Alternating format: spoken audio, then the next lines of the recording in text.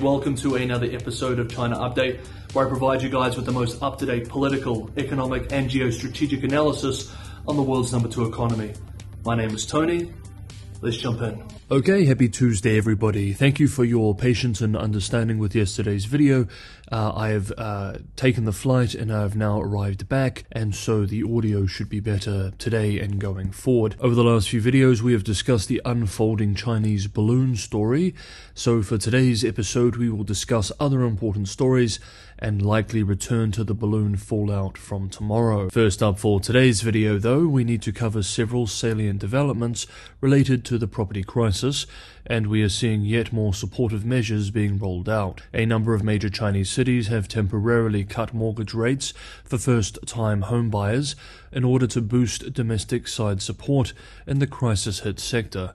We remember last month the central bank said cities are eligible to remove minimum interest rates on loans for first home purchases if prices drop month on month and year on year for three consecutive months.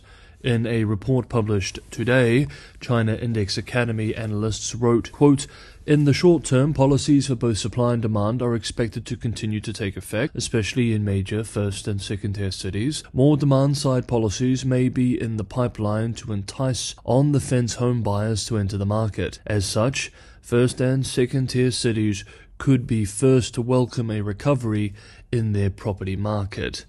End quote. This optimistic forecast may be premature, however. According to calculations made by Chinese financial media outlet Caixin yesterday, at least eight second-tier cities lowered mortgage rates for first-time homebuyers to between 3.7 and 3.9% after the recent holiday period, that is Lunar New Year, below the national floor of 4.1%. Chinese regulators, with memories of the housing crisis and global financial crisis in North America, have long been hesitant in allowing households to become too over-leveraged. But with the property crisis entering its third year, and with the issues now primarily falling on the demand side, regulators are becoming more desperate.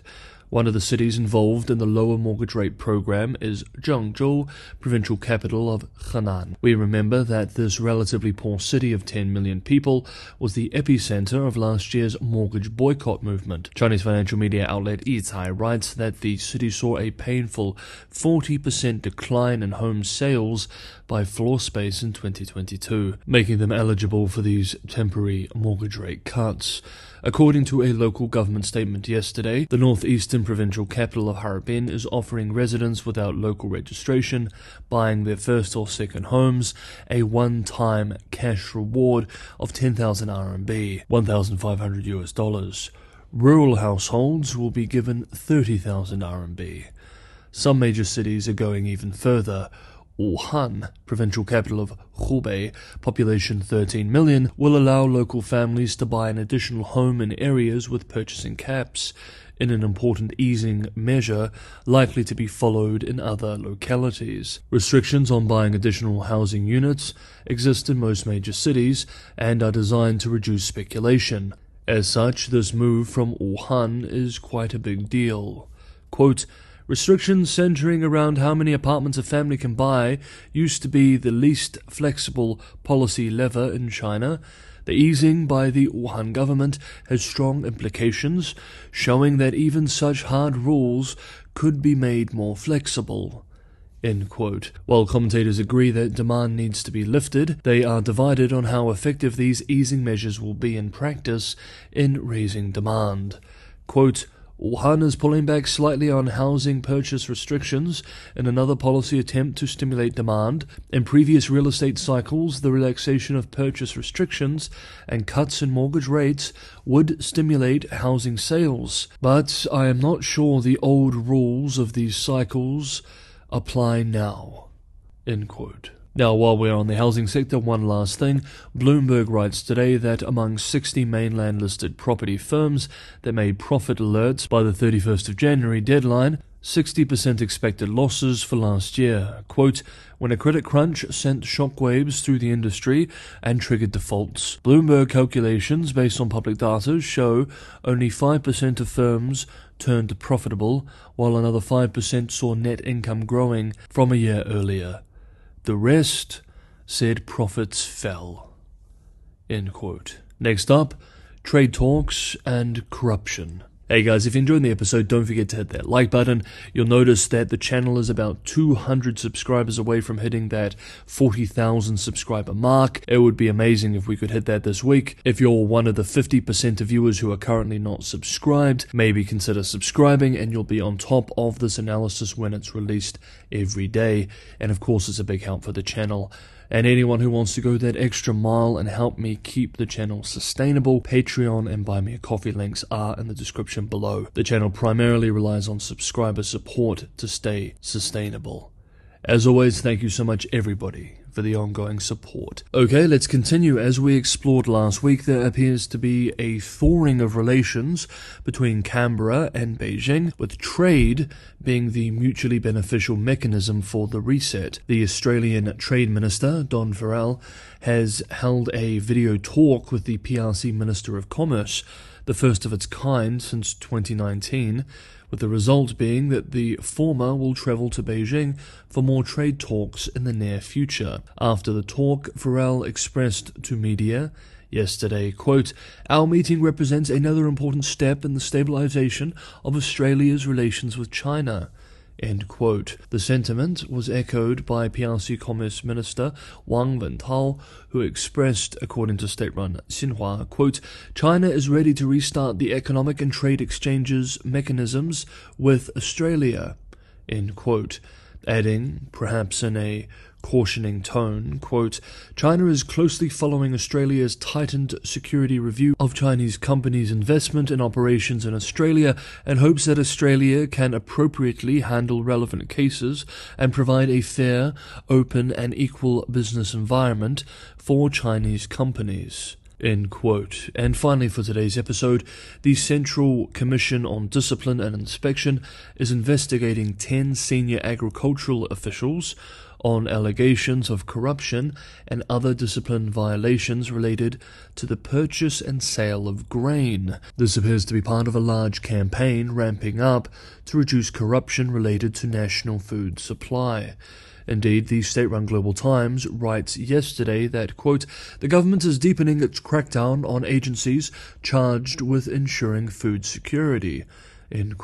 Yesterday, Monday, the Central Commission on Discipline and Inspection, CCDI, vowed to, quote, thoroughly punish systemic corruption and ensure national food security. End quote. On China Update, we have observed that national food security has become a priority for Beijing leadership in recent years, and this campaign to root out incompetence and corruption in grain procurement, sale, and storage is quite telling. Last week, the CCDI issued rules intended to address the quote, lack of effective supervision and law enforcement for officials, organizations, and companies in charge of buying, selling, and storing grain. It calls for strong punishments as a deterrent to the quote, corruption problems behind chaos in the grain market.